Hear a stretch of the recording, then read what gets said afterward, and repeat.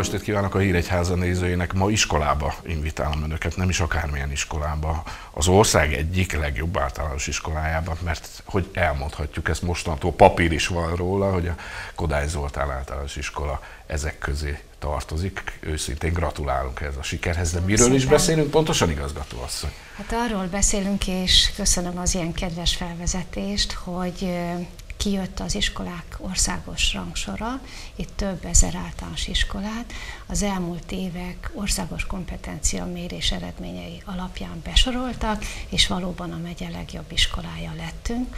Országosan ez a 40. helyet jelenti a több ezer közötti megmérettetésben. Hát le a kalappal, ugye ez, ez nem egy kiugró év teljesítménye, nem, nem egy nem. pillanatfelvétel, hanem több év, három, négy év visszamenőleg. Öt évre öt visszamenőleg is már e, e, bírjuk ezt a címet, vagy legalábbis ennek sok-sok mérés eredménye az, ami most kicsúcsosodott.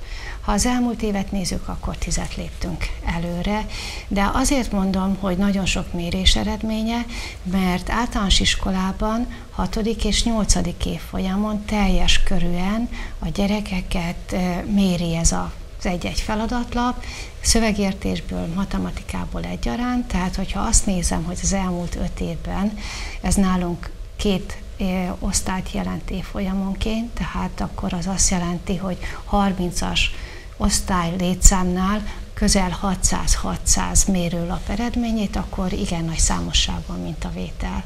Na hát le a kalappal az iskola és a tanárok előtt is, na meg a gyerekek előtt is, mert ennek a teljesítménynek valahogy át kellett szivárogni a gyerekek tudásán keresztül is. Hát az mérték én, én ugye kodályos szülőként azért ezt a elmúlt öt évet végigéltem, és azt látom, hogy, hogy van az iskolának egy nagyon erős karaktere, amit talán uh-huh. mindenki ismer megye szerte, sőt mondhatnám azt is, hogy országszerte. Ez az erős karakter azért a gyerekeknek a viselkedésén is átszövődik, mert hogy elindulnak a, a előkészítőbe, ugye aztán eljutnak az első osztályig, de ott, ott már egy kodályos szellemiségben kezdik meg a, a munkát, és ez annyira át tudja alakítani a gyerekeknek a hozzáállását a tanuláshoz, meg az együttléthez.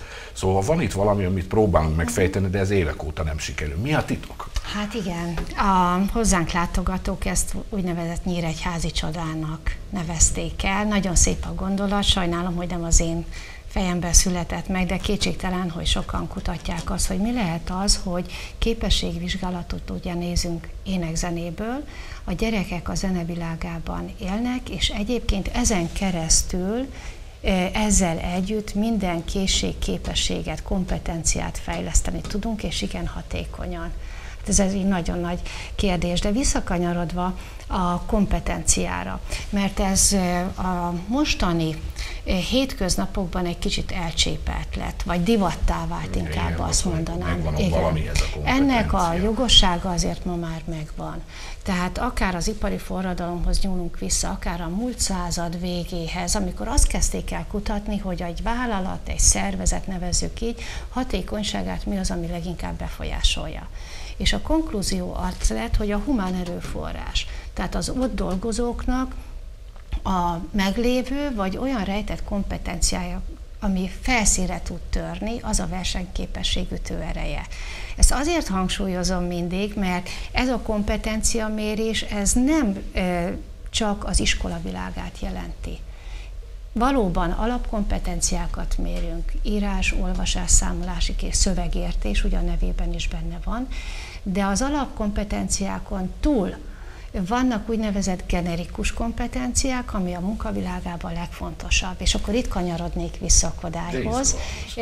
Hát bízom benne, hogy másoknak is izgalmas, hogy a munkavilágában az együttműködés, a felelősség, az elkötelezettség, a belső hajtóerő, a drive, a motiváltság, szociális kompetenciák, ez mind-mind nagyon fontos.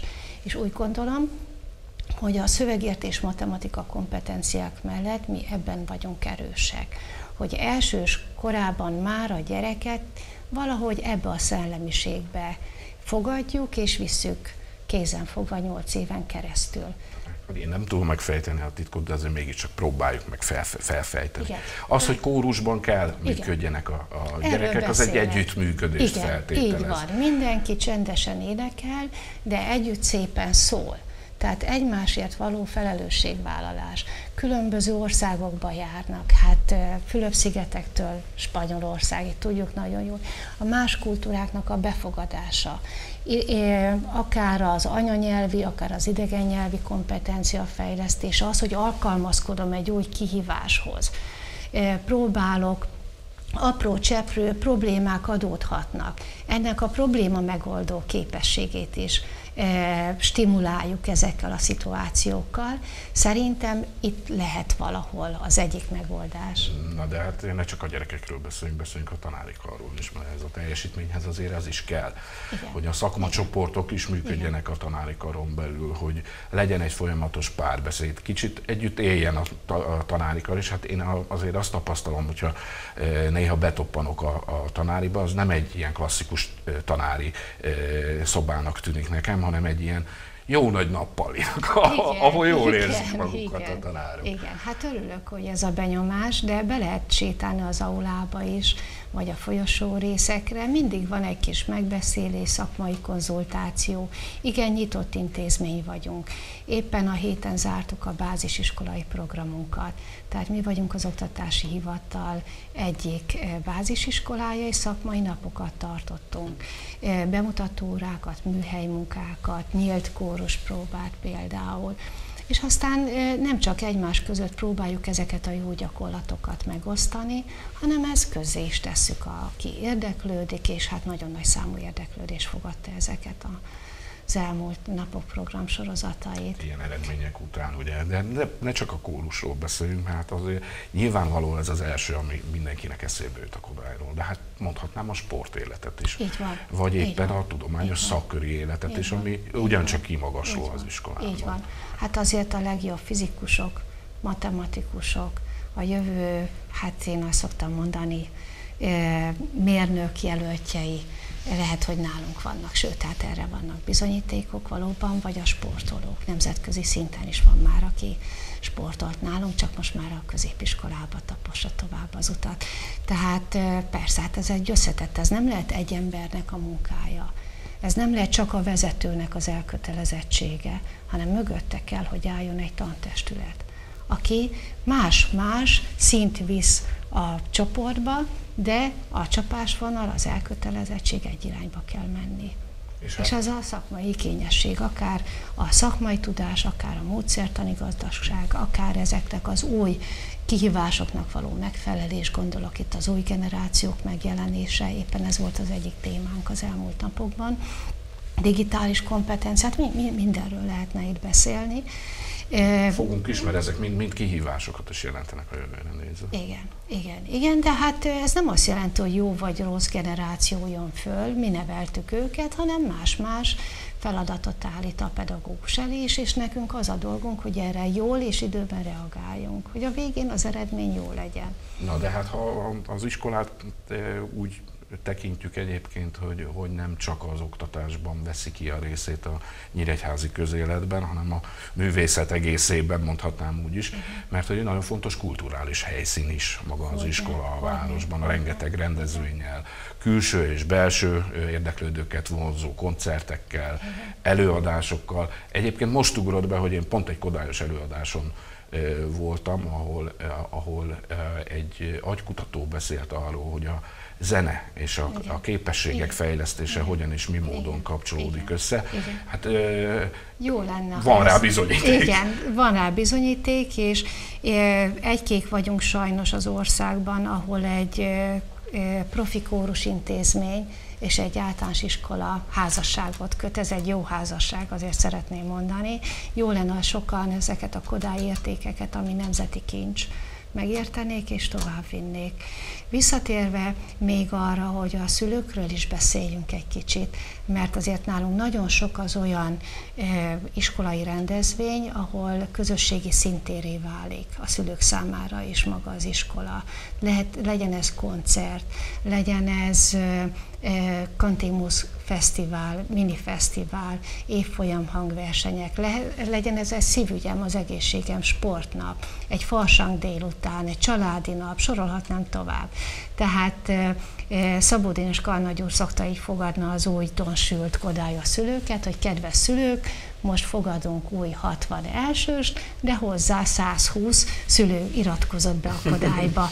Úgyhogy nagyon szoros ez, tehát ez, ez kétségtelen, hogy nem lehet másként, csak a szülő, meg a pedagógus, a nevelőtestület és a szülőközösségnek az együttes munkája. Hát hatással van a szülőkre így is. Van, ezt így van, így van, és ők is egy kicsit átveszik ezt a fajta szívdobogást, nevezzem így. Például most hétvégén bárt fogunk tartani, ahol az első szülőket tiszteletbeli kodályos szülőké avatjuk, ami szerintem egy kiváltság. Méghozzá Woodstock jegyében. Igen, igen. Hát a szülők ezt szavazták meg. Annyira kreatívak, hogy én rácsodálkozok, és, és szívvel, lélekkel készítik elő az estét. Csodálatos. Na hát szép és jó példa a közösségépítésre a, a tanulmányok kiteljesítésére, vagy a tudás kiteljesítésére mindenféle szinten a gyerekeknél, a, az együttlétre, a kórus muzsikálásra, de én még azért hozzáteszem, hogy ez nem csak a kórus éneklést jelenti, hanem magát a zené, zenei életet Hogyne. is, mert Hogyne. hogy azért, Hogyne. ha a délután három órától járnak Nyíregyháza főterén keresztbe Kasba, akkor azt látják, hogy a Kodály és a zeneiskola között mindenféle hangszertokokkal felszerelt gyerekek vándorolnak egyik irányból Igen, a és másikba. ők azok, akik a saját hangszeres termeinkbe már nem férnek be. Tehát ezt azért szeretném hozzátenni, és nagyon jó, hogy hozzátettük, hogy hangszerekkel járnak össze-vissza, mert nem jellemző a plázázás a kodályos gyerekeknél. Tehát elsős kora első pillanatában már feladattal terheljük, de nem nyomorítjuk meg a gyereket, játékos formában hozzászokik ahhoz, hogy igenis van kötelezettsége, másnapra is föl kell készülni, vagy, vagy, vagy egyszerűen játékos formában sajátítjuk el a az tananyagot, hát nevezzük úgy, tehát a tanulás, tanítás folyamatát megpróbáljuk megsegíteni az átmeneti időszakra. Sok időt hagyunk, hagyományosan próbáljuk, de az új 21. század kívásoknak megfelelő eszközök mellett fogadni a gyerekeket és tanítani. Tehát visszatérve nem jellemző az, hogy most ők szappanoperát nézegetni, nincs is rá idejük egyébként, de ez, ennek örülni kell. Tehát ne gondolja a szülő, hogy ez azt jelenti, hogy, hogy a gyerek megnyomorítatik 8 év alatt, inkább szerintem egy nagyon gazdag, színes világ az, amit megélhet nálunk. Na, meg kihívás a szülőknek is, ezt is tegyük hozzá, hogy akinek nincs zenei előélete, képzettsége, annak bizony föl kell kötni a gatyát, hogy otthon tudjon segíteni a gyereknek. Egy, egy kicsit képez, képezni kell a szülőket is.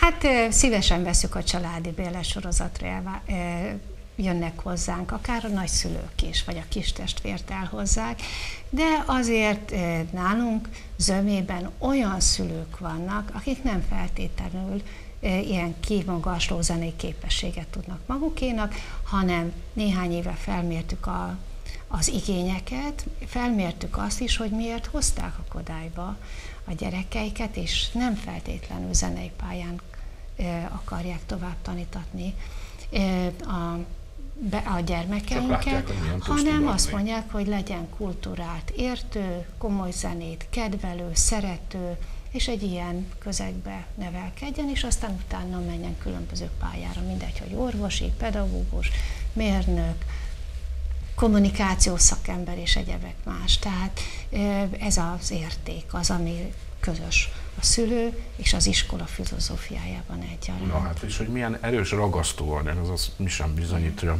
jobban, hogy a kórusok azok virulnak, a felnőtt kórusok is, tehát gyakorlatilag Igen. visszajárnak hát a kodályosok hogyne. nagy számban. Így van, tehát viccesen lehet azt mondani, hogy a legfiatalabb énekesünk ugye a kis hat éves, a legidősebb most árulja, mert nem árulom, 70 év fölött van, tehát egy család így van, tehát egyrészt, másrészt pedig ugye vannak az általános iskolai énekkarok, ennek van egy jó rendszere, hogy melyik évfolyamon hol énekelnek, akár a fiúk, lányok együtt külön, de utána középiskolából visszajárnak hozzánk, és folytatják ezt a kórus munkát. Nagyon sokan hiába elmennek tőlünk, ha azt mondjuk, hogy na találkozunk az iskolába, akkor a kodályba jönnek be. Délután ott vannak, megkeresnek Szilvi néni, mi újság, az aulába egy kicsit beszélgetünk, és aztán látom, hogy Én fiús anyuka vagyok, hadd mondjam ezt a példát. Látom azt is, hogy néhány, hát ahogy szoktuk hétköznapi nyelven fogalmazni, égető fiú, az iskola rossza, akit néha megdorgálunk, eltelik néhány év, és visszajön, és, és, és tényleg intelligens, kulturált fiatalemberként ott van a énekkar sorában, és ez egy nagyon nagy öröm. Hát a lányokról nem is beszélve. Az bizony, bizony. Nagyon erős közösség. Meg tudjuk becsülni ezt a megyei első helyet, meg az országos 40-et, azért tegyük Igen. hozzá, hogy a városban működő általános iskolák közül név nélkül, mert nyilvánvalóan nem szeretnénk senkit sem ide citálni. Ki volt a következő, és hanyadik lett? 70, 70 valahanyadik lett a, a ZEG, és a többi pedig, hát úgy mondanám, hogy sok nagyon jó nevű általános iskola 200-ba se, vagy a 600-ba se került bele. Szerintem maradjunk ennyiben. Hát, ha a rangsort tekintjük, mert azért a 40. hely nagyon nagy kihívás. Tudni kell, hogy az előttünk lévő 39 között 26 budapesti van, akik valamilyen speciális képzést nyújtanak, matek tagozat, humán tagozat, gimnáziumi lehetőség később. Tehát azért már csak a merítés oldaláról és a kínálat oldaláról is ezek az iskolák klasszikusan is nagyon erős intézmények. Aztán van Szeged, Pécsi, Debreceni, de nekünk tetszik ez a 40. hely, de ez egy erős kihívás a jövőre nézve mert nagyon erős a mezőny, a legelső általános iskola eredménye és a miénk csupán 21 pontban tér el egymástól az 500-as skálán.